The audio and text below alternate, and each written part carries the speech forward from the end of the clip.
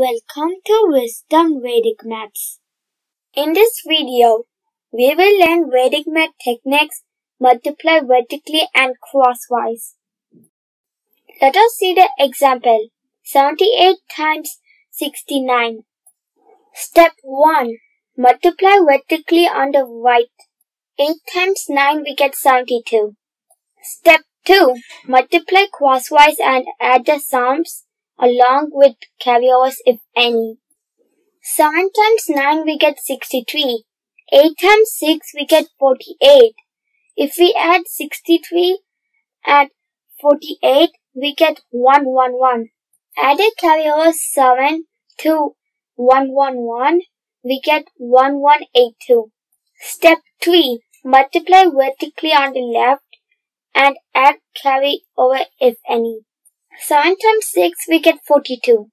Add a carry over 11 to 42 we get 5382. 5382 is the answer.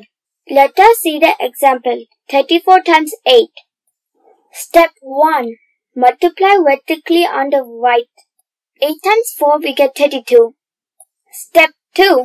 Multiply crosswise and add the sums along with carryovers if any. 8 times 3 we get 24. 0 times 4 we get 0.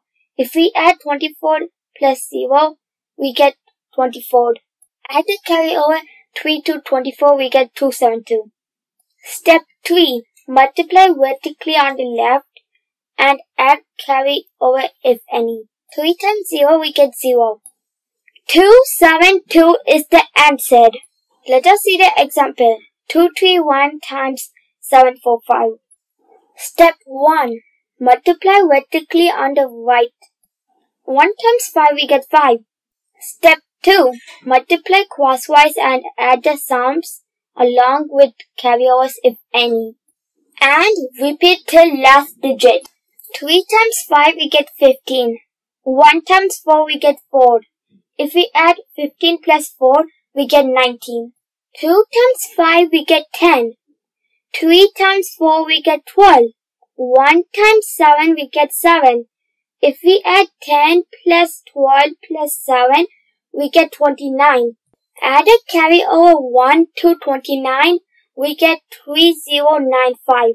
2 times 4 we get 8. 3 times 7 we get 21.